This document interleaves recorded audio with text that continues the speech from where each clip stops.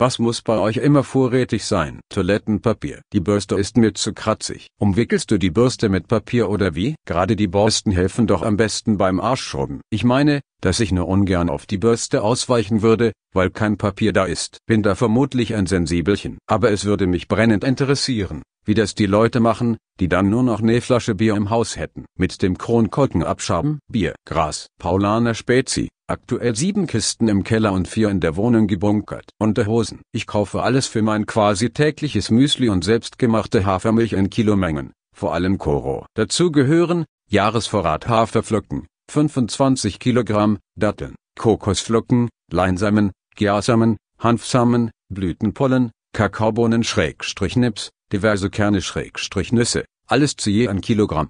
Honig, 10 Kilogramm, Olivenöl, 8 Liter, Couscous. Für den Haushalt besitzte ich stets folgende Mittel.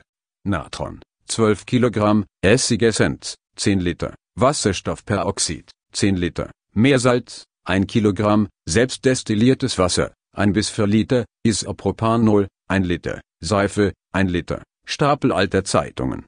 Hinzu kommen allerlei gesammelte Kräuter für Tees, Pestos und so weiter. Mehr fällt mir gerade nicht ein.